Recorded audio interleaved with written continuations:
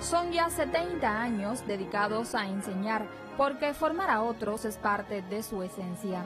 Con esa dulzura que la caracteriza, la doctora Lidia Turner nos habla del magisterio, esa gran profesión de amor a la que ha dedicado su vida. Yo creo que es una gran profesión de amor y las relaciones que se establecen entre el maestro y el alumno eh, quedan para el alumno para toda su vida y para el maestro como devolución de lo que él hace con, ellos, pues también. Así que por lo tanto me parece que si volviera a, escoger especialidad, volvería a escoger el magisterio. Lidia Turner es de esos profesores que desde muy jóvenes descubrieron que su vocación estaba en las aulas.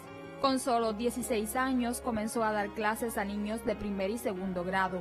En ese momento comprendió que su camino era llevar el conocimiento a otros. Algo que me pasó en esa época, yo creo que me marcó, porque yo como otros pensaba estudiar otras materias, otras especialidades que no fueran la, del magisterio. Y yo recuerdo que dando clases en, este, en esta escuela, un día vino una de las niñas y me trajo una flor por la mañana y me dijo, en aquella época se le decía a la maestra señorita, señorita, esto es para ti. Esas palabras yo las tengo en la mente. La mirada de amor de aquella niña que yo estaba formando en primer grado, creo que me marcó. Así comenzó su andar por la enseñanza.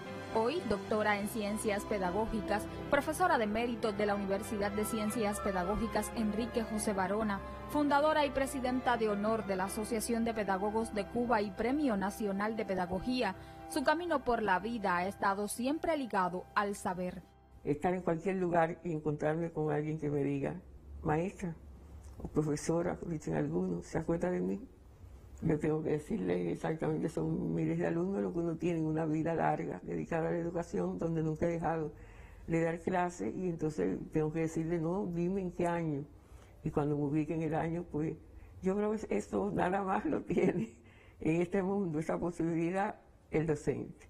A mí me ha dejado una, una gran, un gran agradecimiento a mis alumnos por lo que ellos también influyeron sobre mí. A sus 86 años, esta profesora siente que aún le queda mucho por hacer. Actualmente colabora en la formación de otros docentes en cursos de posgrado y doctorado. También desde la Cátedra Latinoamericana José Martí y la Educación. En la Asociación de Pedagogos de Cuba continúa investigando y descubriendo la obra del apóstol a esos que como Lidia llevan en el alma la vocación de transmitir conocimiento a otros, de acompañarlos por el camino del saber, llegue el merecido homenaje en esta jornada del educador. Yusilín Suárez Hogando, Sistema Informativo de la Televisión Cubana.